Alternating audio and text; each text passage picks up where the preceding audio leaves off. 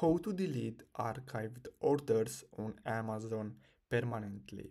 Well, I tried to do that and I've searched on the internet different ways to do that and the only method that worked for me was this one here. So I found this Reddit post and this user here said that uh, you're gonna have to click on this link so if you want you can pause the video and then simply copy and paste this link into your um, browser and as you can see on the desktop page it brings up categories like buy it again in home.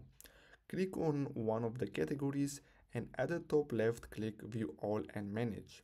Once the list comes up, click on the image of whatever item you want to get rid of and click the remove this recommendation button. So when you click on this, you're gonna get redirected to this page as you can see.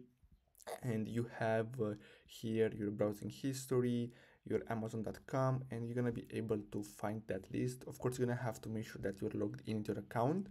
And basically that's it. So i really hope you found this video helpful. Don't forget to like and subscribe. Thanks for watching